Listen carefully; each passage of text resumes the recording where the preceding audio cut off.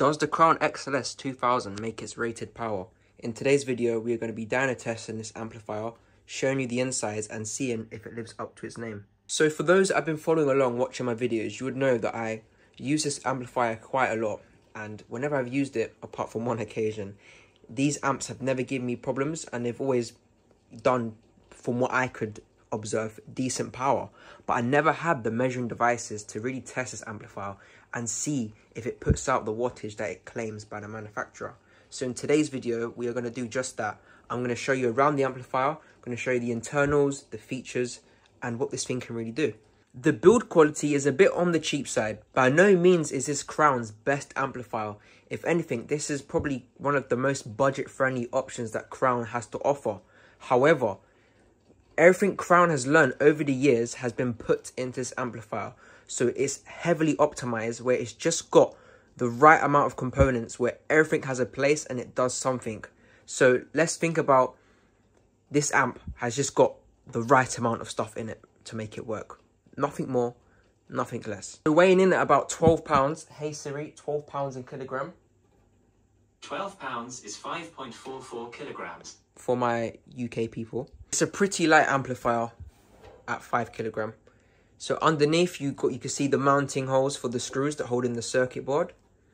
At the top here you got thermal clip minus 10, minus 20 signal. You got your volume controller, your manual previous next. Same this side. The air comes in through the front, exhausts out the back, and then you got a nice robust on button. Looking at the back, we have a resettable fuse, kettle lead as we call it in the UK, Neutrik, this model of amp was built in 2013. You've got banana plug inputs for your channels, or you can go bare wire. Obviously, the two reds will be when you do bridge mode. The fan, quarter inch XLR RCA, and then also these are connected. So if you put RCA in, these will work, etc. Whatever you put in, you can use the other ports to daisy chain other amplifiers. Let's turn on the amplifier so you can hear how it sounds. does have a really nice clicky sound when you turn it on. That is one good thing about Crowns is their relays are always the best. So a little fun fact for you guys who own Crowns. There's a secret menu. If you hold down these three buttons, I'm probably not doing it justice doing it that way. So if you hold down these three buttons here, you get put into a secret menu where you can see the power supply temperature and low voltage rail, your channel temperatures, your rail voltage, and then the firmware version and how many times there's been like it's got its own little like uh let's say it's it logs when someone's either broken something in the amp and I don't think you can reset it. So as you see this amplifier has never had a fault with it. So that's good to know. And then back to the start another thing this amp does as well is if you hold down previous and turn on the amplifier so if we go like that the fans ramp up full speed, all the lights show, and it's like a self-check mode where you can test all the buttons and then it returns to its operating state. So looking at the DSP now and what features this has to offer, right now we're in bridged low pass. If you hold that down, you have amp mode more. If you press these, you can turn off or on the clip limiters. So channel 2 clip limiter, channel 1 clip limiter, and you press menu, and you can turn it off or on. So next we have, if you go here, hold it again and press into this mode, you can choose between bridge, stereo or input Y. Click it again, you get low pass or high pass or bypass or crossover. Very cool. But crossover is only available on the input Y. So when I use this amplifier, I would normally use it to power subwoofers. So I would go bridge low pass, and then my low pass will be set around 50 hertz. It can go up to 3 kilohertz, so it only has between 50 hertz and 3 kilohertz, both on low pass and high pass. That is the range you can set it at. But obviously when we do the dyno testing today, I'll be leaving this amplifier in bridged bypass, allowing the full spectrum to be played through the amplifier. So now let's turn this off and unplug it because we're going to open it up and show you guys the internals. To get into this crown, you've got two screws here, three screws at the back, and then another two screws around that side. Now carefully remove all the screws holding the top case of the crown on. So I should be able to pull up and slide back like that and then pull this bit up. Perfect. Put this to one side. And here is the look inside of the Crown XLS 2000. As you see, it's very minimal. The board solder is very high quality. It is pretty good, even for a budget amplifier. Everything is very clean. So you got your two channels here, your rails, and the transformer is so small. Look at that, tiny transformer. Your power supply caps there. So on the rails, we have 125 volt caps. And we've got two of them and they are 4,700 microfarads. On the power supply side, we have 200 volt. You probably can't even see that, but they're 200 volt, 1800 microfarads, and there's four of them. But anyway, that's the inside of this Crown amplifier. As you can tell, it is very clean and yeah, for something budget, put together really well. Anyway, let's put the case back on and let's get this on the dyno and let's talk numbers. Does this thing live up to the 2100 watts that it claims at 4 bridged? We're going to find out. Okay, so we're going to do a 40 hertz test, 4 bridged. Crown rates it at 2100 watt at 1 kilohertz at 0.5 THD. We're going to do 40 hertz as I use this for bass. Will it still do 2100 watt?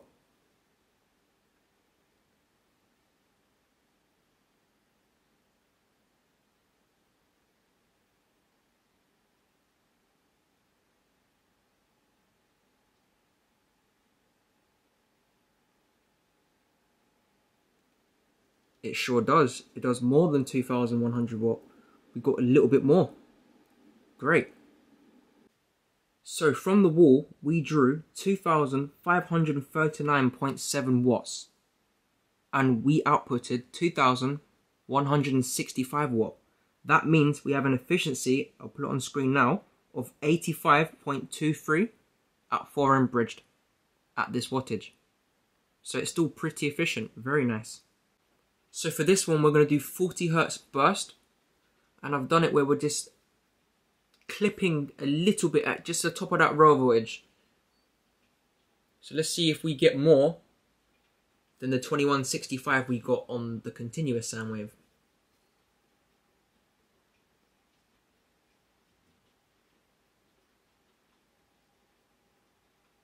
So yeah, it has got some dynamic headroom in there. Very nice, 2328 watt. Okay, so we're now going to run 1 kilohertz up until slight clip and see what we get. So this is 1 kilohertz at 4 ohm bridged.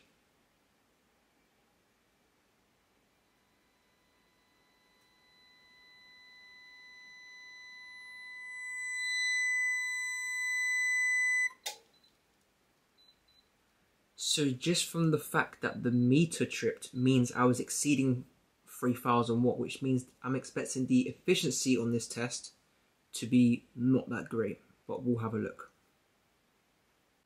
So that was the power meter that's connected to the amplifier. When it exceeds 3000 watt, it will turn off. So let's have a look at the numbers. We got 2212 watt, but we had to pull 3043 watts to get that. So that brings our efficiency down to 72.7%. In this one, we're now going to see if we've got any dynamic headroom at 1 kilohertz.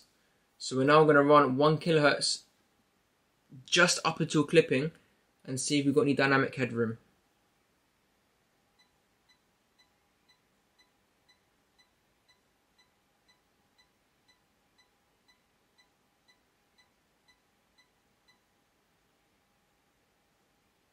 We're going to go that again because I've got a little bit more volume to go.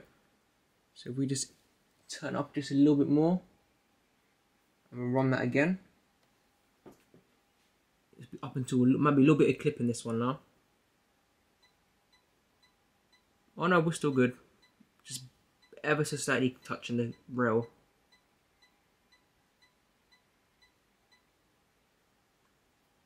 Nice. Now we're going to clip it. So we're going to now increase the volume. And send it.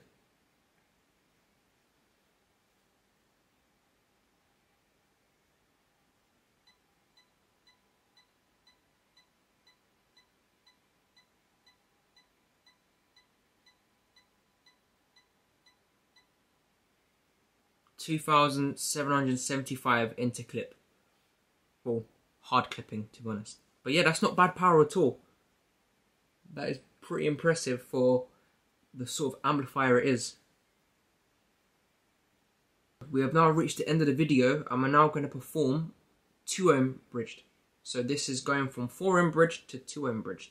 Do we get more power?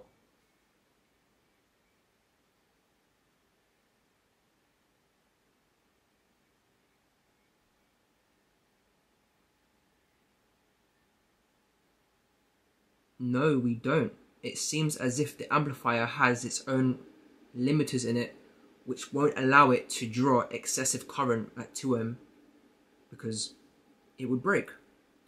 Very clever. I'll run it again for you guys so you see it's not a fluke. This amplifier will not let you pull more current than the circuit was designed to handle. So we'll run it again. And as you see, it's not clipping. Very clever.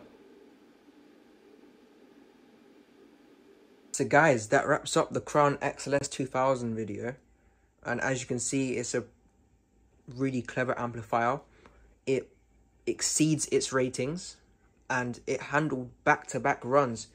This is a very light amplifier and it still puts out over 2100 watt we got it in, but we got peaks of up to 26, 2700 watt, continuous sine waves of 21, just over 2100 watt. And yeah, even though it's light, it still packs a punch, this little amp, and has many cool protective features to prevent people from breaking it, which is pretty nice. But yeah, thank you for watching. Please bear in mind, this was my first dyno video, so I may not get everything correct. But, yeah. Thanks for watching, guys. And if you want me to dyno an amplifier of your trace, drop it down in the comments. And I'll do my best to try and make that happen. Take care, guys.